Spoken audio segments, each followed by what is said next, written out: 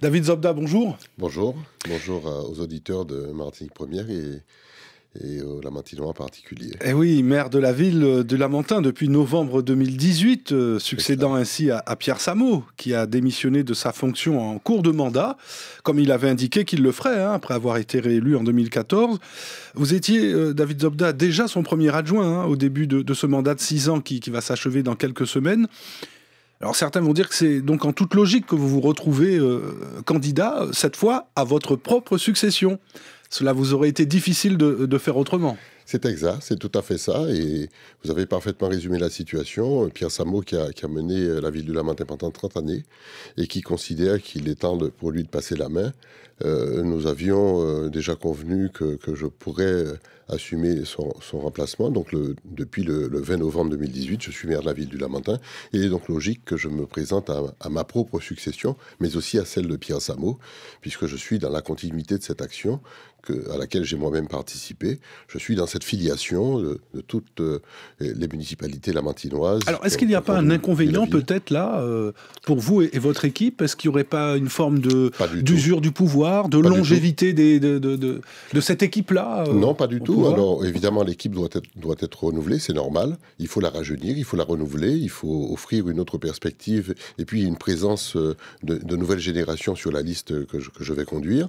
Mais au-delà de ça, euh, je ne suis pas dans l'usure du pouvoir puisque je n'ai pas été maire mm. depuis 30 ans. J'ai été le premier adjoint, j'ai collaboré avec Pierre Samo mm. et j'assume en toute solidarité tout ce que la ville du Lamentin a, a réussi de bien et ce que la ville du Lamentin a réussi de, moins bien éventuellement.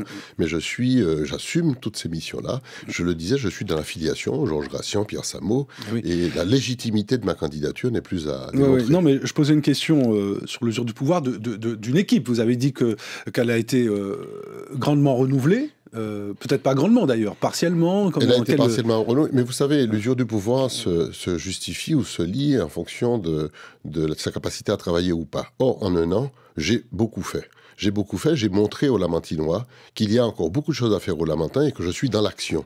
Je suis dans la réalisation, je m'occupe des situations, je gère des problèmes au quotidien et surtout je suis dans l'anticipation. Et donc vous êtes aussi, vous êtes aussi candidat pour donner un nouvel allant, un nouvel élan même, comme on dit en créole, en, l'autre ballon bah, bah, la ville Lamentin C'est très clair, je ne suis pas euh, euh, candidat à la mairie du Lamentin pour la gérer simplement.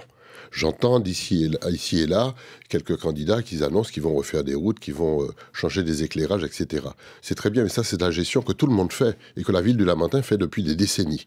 Moi, ce que je veux, c'est diriger cette ville, lui donner un cap, lui donner un projet, que les jeunes Lamentinois qui m'écoutent aient le sentiment que notre ville va, va, vers une ville de demain, vers une ville tournée vers l'avenir, avec des projets et des perspectives, au faire renaître l'espoir et la fierté lamentinoise, et continuer à garder dans cette ville un dynamisme, une force, une, puissance qui, la positionne comme étant l'une des villes phares de notre pays. En tout cas, elle a valeur d'exemple et de modèle. Et je voudrais que la ville du Lamentin, par ce, projet ambitieux que nous portons, soit de nature à, garder sa place dans l'échiquier martiniquais. Quel est le projet qui vous tient particulièrement à cœur, euh, euh, David Zobda, pour les Lamentinoises et, et Lamentinois, justement? Il y a de nombreux projets. En tout cas, j'axe notre programme sur quatre, quatre piliers. Le premier pilier, évidemment, c'est l'aménagement du territoire le projet territorial qui sera fondé d'abord sur les, centralités de quartier, les identités de quartier, le bien-être, le bien-vivre dans nos quartiers, et ensuite sur un grand projet, un vaste projet qui va moderniser le centre-ville du Lamentin. C'est le projet Cœur de Ville qui va rebooster le centre-ville du Lamentin en recréant de l'animation, économique, en, développant les pôles d'attractivité que sont l'entrée euh, de ville du Calbassier et la friche de, l'ancien hôpital du, Lamentin, deux pôles de développement qui vont faire de l'attractivité du, territoire. Ensuite, le, le deuxième pilier, c'est évidemment le pilier social, avec un véritable plan social territorial. Que faisons-nous pour nos personnes âgées? Quelle est la stratégie, le plan pour la jeunesse, la précarité, le logement insalubre, etc., et les pauvretés Troisième pilier, le champ associatif sur lequel euh, la puissance publique doit pouvoir s'appuyer pour développer le sport, la culture, etc. Enfin, le quatrième pilier, qui fait la force du Lamentin, c'est le développement économique, le rapprochement avec les puissances économiques et ah, l'utilisation de ces, ben, je voulais vous interroger eh ben, là-dessus pour conclure, puisque vous avez participé à un déjeuner débat hein, sur le thème La ville du Lamentin, poumon économique de la Martinique, un déjeuner débat organisé par Contact Entreprise. Quel est votre rapport avec justement, alors je ne vais pas dire le monde des affaires, parce que c'est un peu connoté, ça pourrait être interprété, mais avec le, monde des entreprises, le monde économique de la Martinique. J'ai un excellent rapport avec le monde économique, parce que la ville du Lamentin a toujours été à Qui a longtemps été une municipalité communiste, on le rappelle. Bien hein, entendu, mais... Qui s'est revendiquée telle qu'elle. Et toujours, de gauche, et, bâtir, bâtir est dans cette filiation-là. Donc il n'y a pas d'antinomie Il n'y a pas d'antinomie, il, a pas d'antinomie. il, faut, il faut bien savoir que euh, le développement économique fait partie du développement de pays. Et euh, l'idée, c'est de savoir comment utiliser le développement économique pour appuyer un développement social.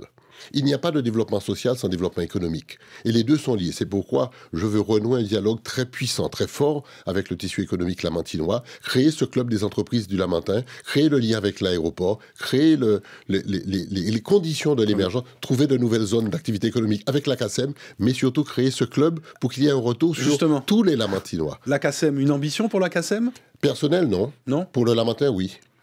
Merci David Zobda. C'est moi qui vous remercie. Émission réalisée par Rodrigue Calixte.